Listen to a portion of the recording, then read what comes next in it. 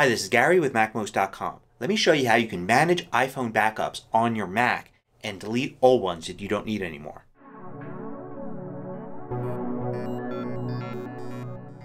MacMost is supported by viewers just like you. Go to MacMost.com slash Patreon. There you can read more about it, join us, and get exclusive content and course discounts. So if you've had several iPhones over the years, maybe iPads too, and you've backed them up to your Mac, they could be taking up space on your drive that you could free up by deleting those. Let me show you how. Alright, so the first thing to do is you need to connect your iPhone or iPad with a cable to your Mac. Now you can do it over Wi-Fi but you have to set it up that way first.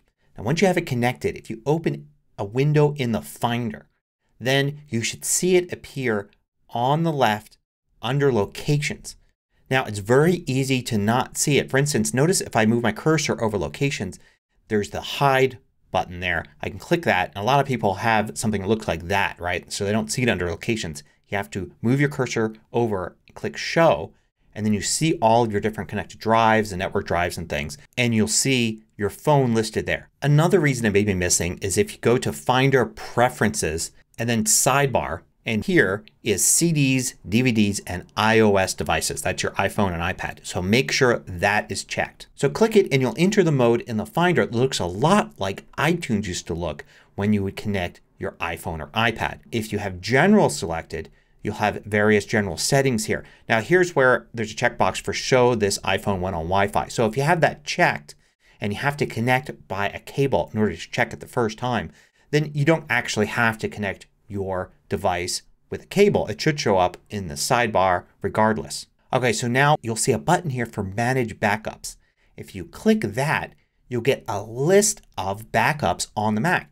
Backups for this device and for others. Unfortunately, there's no way to get this list unless you connect a device. So if you don't have your iPhone or iPad with you, there's no way to get to this list.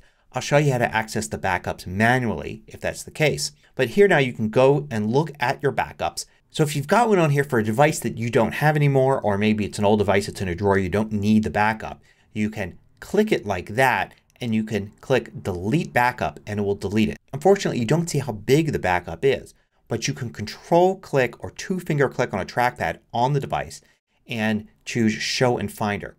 This will bring up a Finder window looking deep inside your library folder with the folder selected that represents that backup. So with that still selected you can do File, Get Info or Command I, bring up info on it and you can see here the size of everything in that folder. So that's the size of the backup and how much space it's taking on your drive. But if you can avoid it, don't actually delete it here. Just use that to get the size. Instead select it right here hit delete backup and that's the way to get rid of that old backup.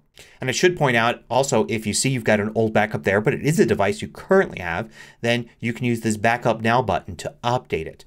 And sure you may have a backup in iCloud but why not have two backups especially if you do have the extra space on your Mac's hard drive. Now what happens if you have no iOS device handy and you know you've got some backups taking up space or at least you want to check to see. Well you can get to that location in the library folder by choosing the Go menu, holding the Option key down and Library will appear only when you have the Option key held down.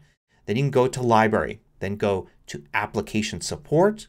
Then from there scroll down and you'll find Mobile Sync.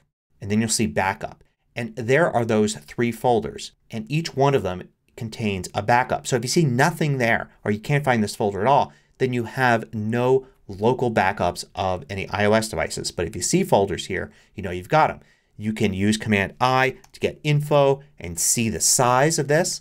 And also you can check the modified date here and see when this backup was made. Now the one thing it doesn't tell you is what device this is, right? You've got this cryptic name here. So if you look through the list here at the very bottom you're going to see info.plist.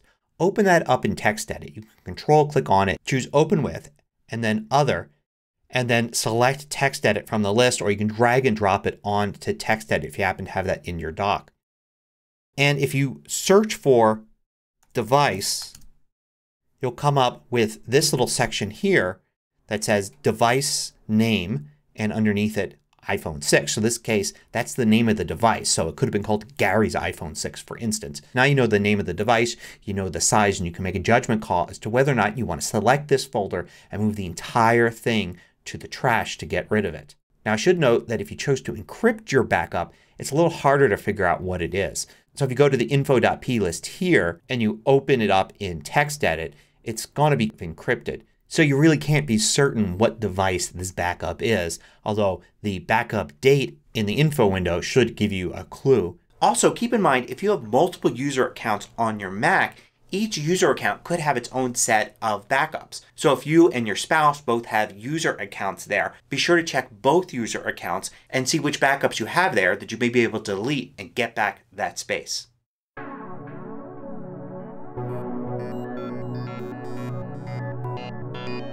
I publish new tutorials every weekday. Hit the subscribe button so you don't miss out. Then hit the little bell icon to get notifications for each new tutorial.